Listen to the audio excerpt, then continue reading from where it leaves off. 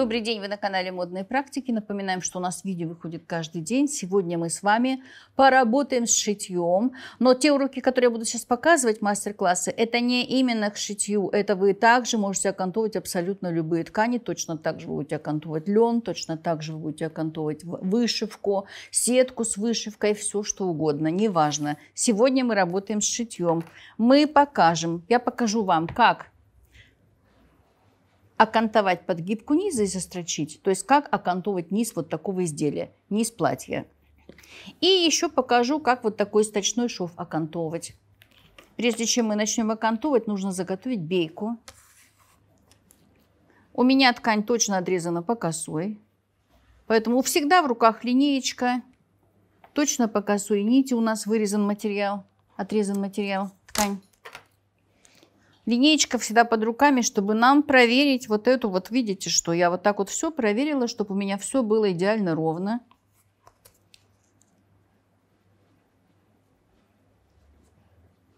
А у вас даже не получится неровно сейчас отрезать, потому что у нас уже выровнено. Это раз. А второе, очень хорошо вот так вот прижимать линеечку, потому что очень легко все сдвинуть.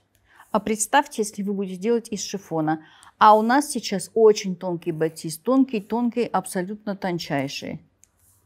И когда вам нужно окантовывать любую вещь, вы швы окантуете, подгибки низа или неважно что, вам нужно примерно представлять, сколько вам нужно бейки, и заранее заготовить бейку вот на все операции. И когда у вас уже беечки заготовлены, висят под руками, в процессе шитья вы берете каждую следующую бейку, с ней работаете. Не надо организовывать свою работу так, что сделали одну беечку, окантовали один шов. Нужно окантовать другой шов, бежим и окантовывать следующую беечку. Как-то эта организация труда так себе. Организуем себя правильно.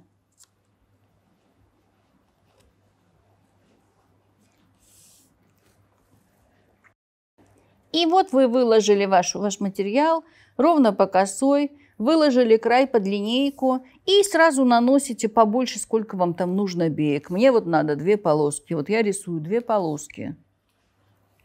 Обратите внимание, как тщательно я работаю, чтобы ничего не сдвигалось. У нас очень много вопросов поступает, как работать с шелком, как работать с сеткой, как работать с шифоном, как работать батистом, с органзой, с тонкими материалами. А вот так – тщательно, аккуратно, все проверяя, контролируя все своими ручками. Тщательность, тщательность и еще раз тщательность. Больше ничего. Плывет во все стороны, аккуратно.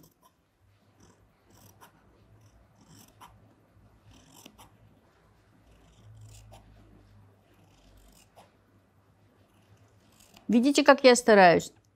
Это хотя бы даже не шифон, батист – но он ведет себя как шифон настолько тонкий, это просто вообще нереально. Конечно, кто будет работать впервые, пожалуйста, найдите себе хлопковый батист. Этот батист у меня шелк и вискоза, причем большой процент шелка.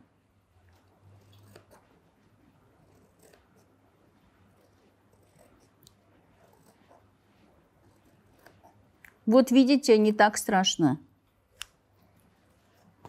не так страшно, как кажется. Но, тем не менее, тщательность нужна.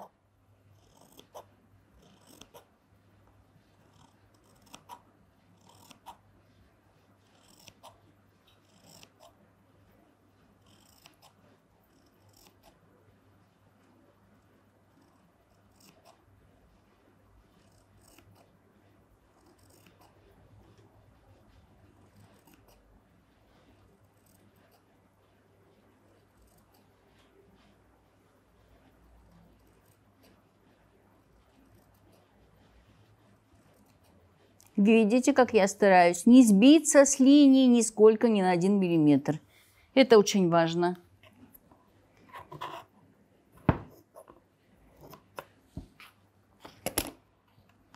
И вот я вырезала две такие беечки косые. Сейчас моя задача отправиться на утюг и заготовить бейки. Перед нами косая полоска 3 сантиметра шириной.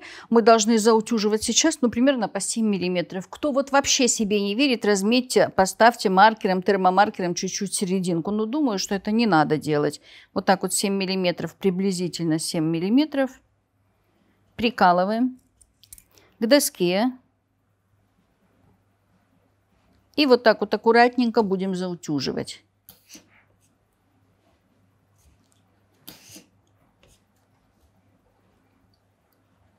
Есть такие, знаете, приспособления, которые делают бейку.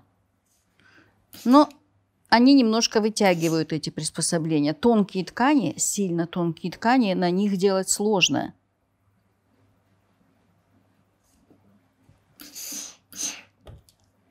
Вот таким образом вы все это утюжите до конца.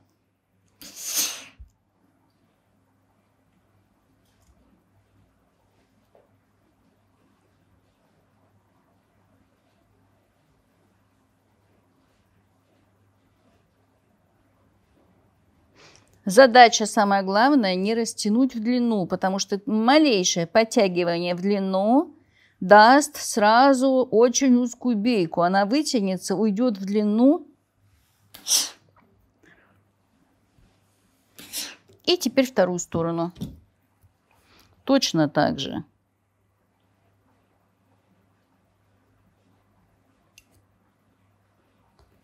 Все то же самое, не растягивать.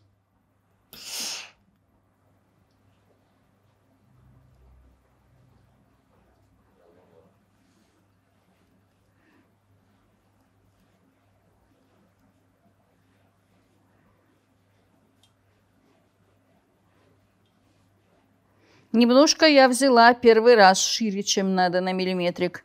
Будьте внимательны.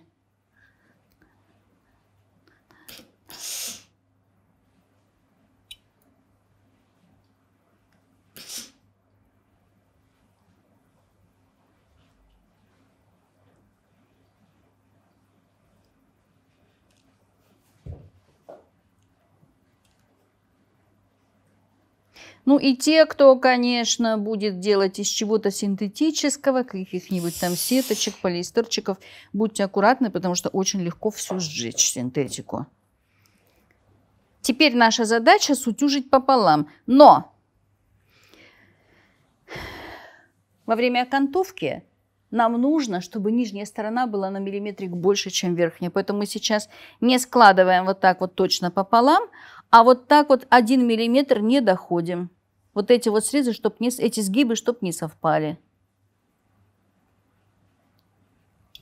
Что за иголка, которая не, про, не протыкает?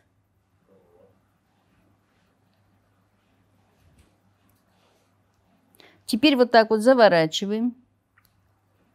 И вы видите, что верхний сгиб не доходит на 1 мм до нижнего. Это очень важно. Это портновские секретики, которыми мы с вами делимся.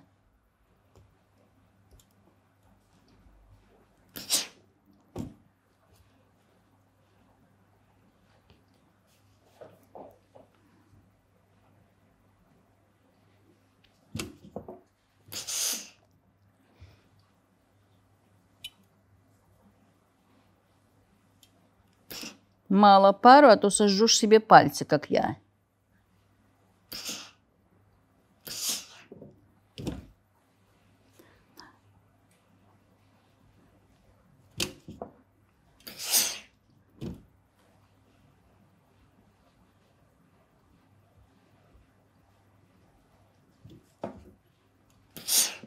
Для чего мы не доводим на 1 мм область, не совмещаем сгибы, вы увидите сейчас, когда я начну шить.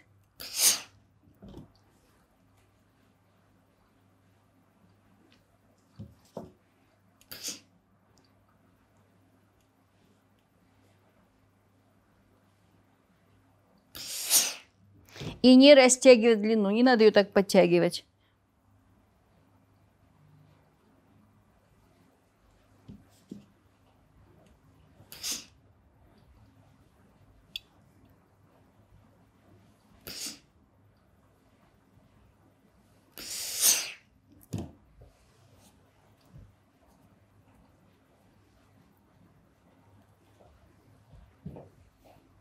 И так всю до конца.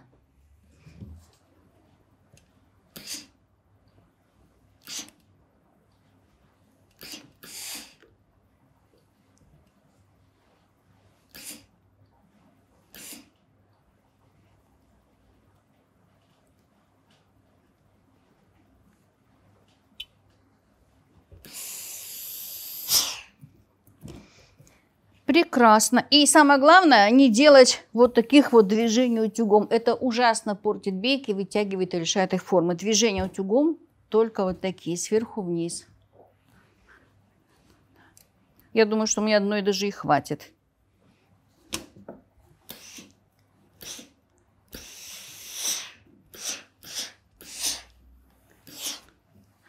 Кусочек прошьем мы по подгибке и кусочек прошьем по окантовке.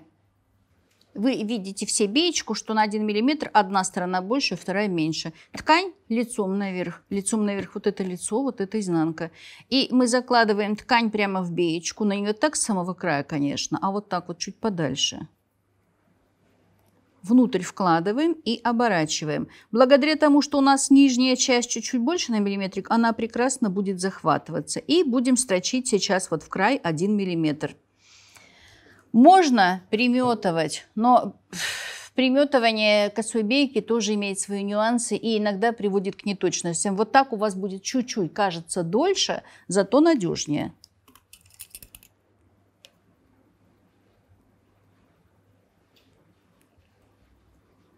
Начинаем шить. Очень хорошо иголочкой туда все вправляем.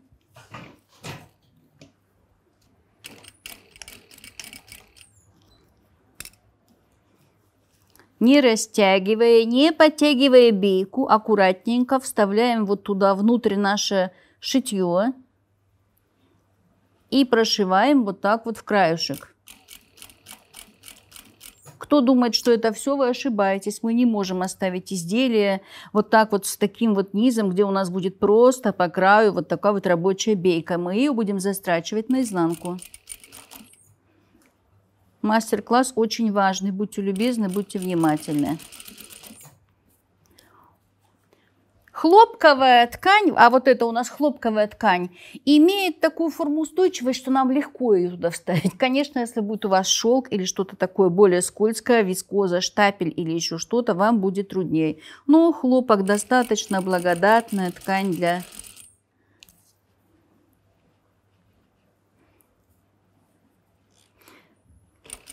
для того, чтобы с ней работать.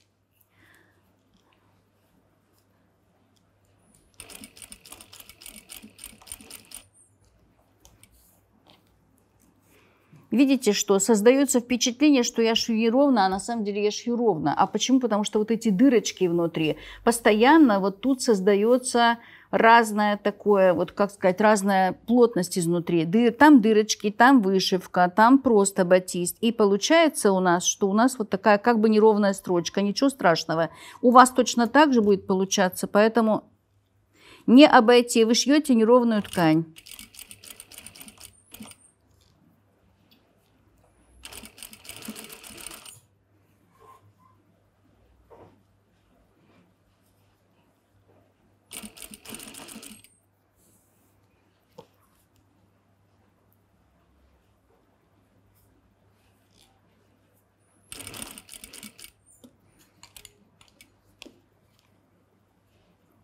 Так сложно работать с шитьем.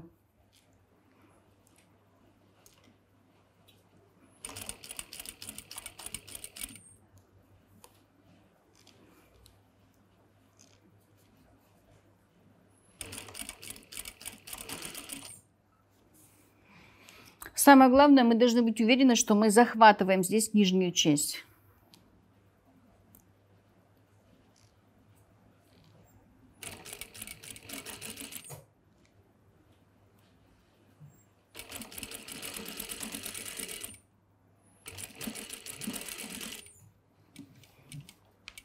Сейчас я приутюжу всю эту красоту и покажу вам, что делать дальше. Заметываем на изнаночную сторону, без переката, маленькими стежочками. Не надо, чтобы вот здесь вот выходило из шва шитье. Шитье вот так вот прячем туда и по изнанке шьем.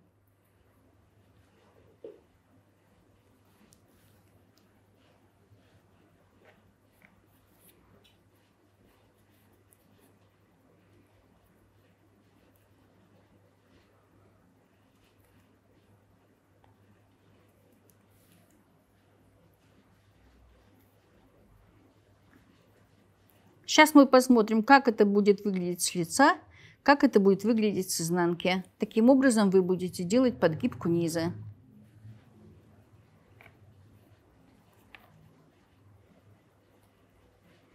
Самое главное, что вот там, где у нас дырочки, там не за что захватывать. Ну, неважно. Важно, чтобы мы были уверены, что все делаем правильно.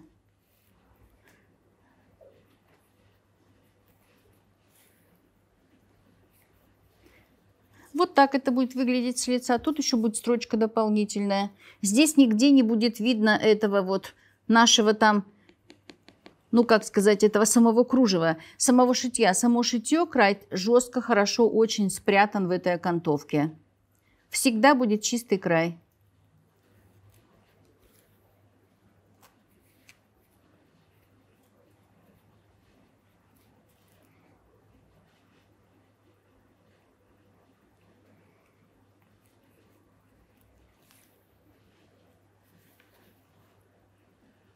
Вот что у нас получилось. Теперь мы отсюда с изнаночной стороны будем строчить 1 миллиметр по бейке.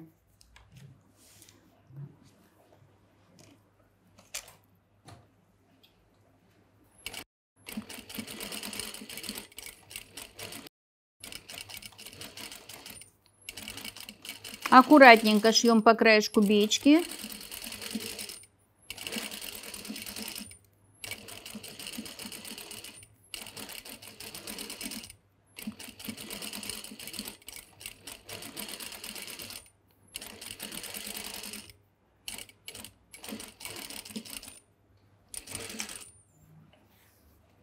Очень надежно спрятали обрезанный край. Очень надежно, абсолютно точно, никогда ничего у нас не будет вот это вылезать. Вот так вот с лицевой части выглядит наша подгибка низа. Вы видите, что очень надежно убраны вот эти вот все какие-то там края дырочек, еще что-то там, ниточки, лохмотья от шитья.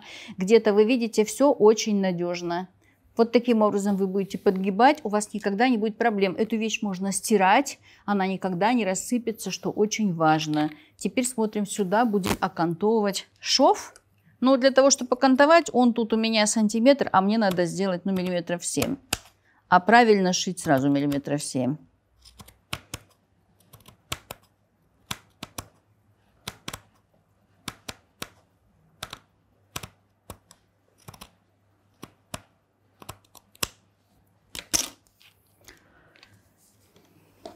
А здесь одна строчка. Просто нужно взять нашу беечку, заутюженную на 1 мм шире, 1 меньше.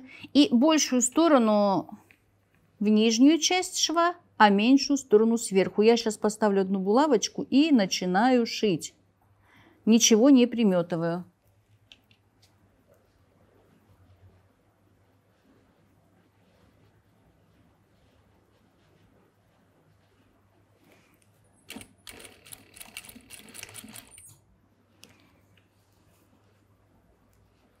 Вот так вот вы будете сразу два среза вкладывать в беечку внутрь, огибать и прошивать. Пальчиками вы чувствуете то, что она полная внутри. Аккуратненько вы видите так раз и огибаем.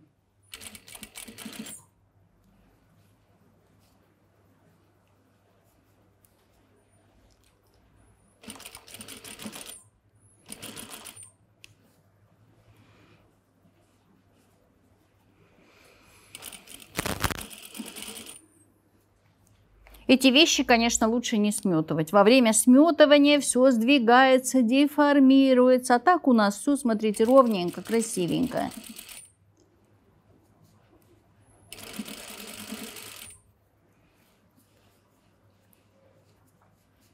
Сегодня мы с вами прошли, как работать с шитьем, но точно так же вы будете работать с другими тканями.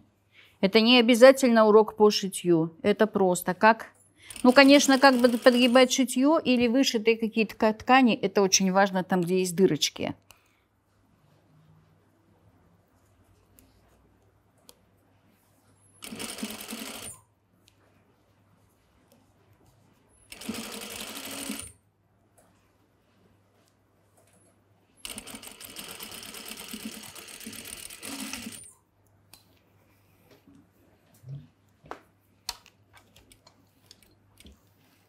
Сейчас посмотрим, как с одной стороны, так и с другой стороны.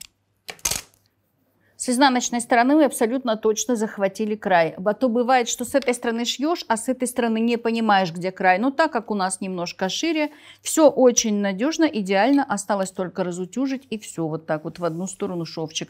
Посмотрите, не шовчик, а красавчик. Прямо красавчик. Я так считаю, что это красавчик. Мы показали, как окантовывать сточной шов и как делать подгибку низа. Я всем желаю успехов в творчестве. Не бойтесь находить интересные решения, не бойтесь сложных тканей. Я думаю, чем интереснее будут ваши вещи, чем, тем вы комфортнее себя в них будете чувствовать. Я это знаю просто по себе. На этом я с вами прощаюсь. Ставьте лайки, делитесь нашими видео в соцсетях. Подписывайтесь на наш канал. Всего хорошего. С вами были мы, Паукштрин Михайловна и вся наша команда.